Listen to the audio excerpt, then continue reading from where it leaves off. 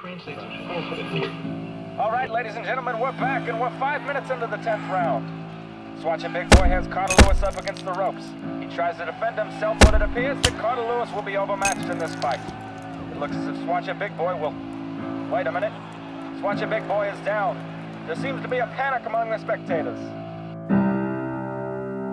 So, we have one dead boxer, numerous possible suspects, and an arena full of people who didn't see a thing. So, where do we go from here?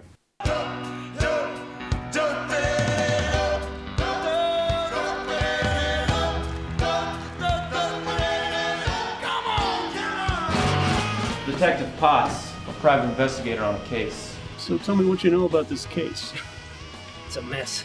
You have anybody that sticks out yet? Yeah, we're looking at Carter Lewis. The police are looking at me as a suspect. I hired you to take care of this. If I want to find out who did this, I gotta take a chance. Steer yourself clear of this mess. Look, I can take care of myself. There's consequences that you need to think about before you do things.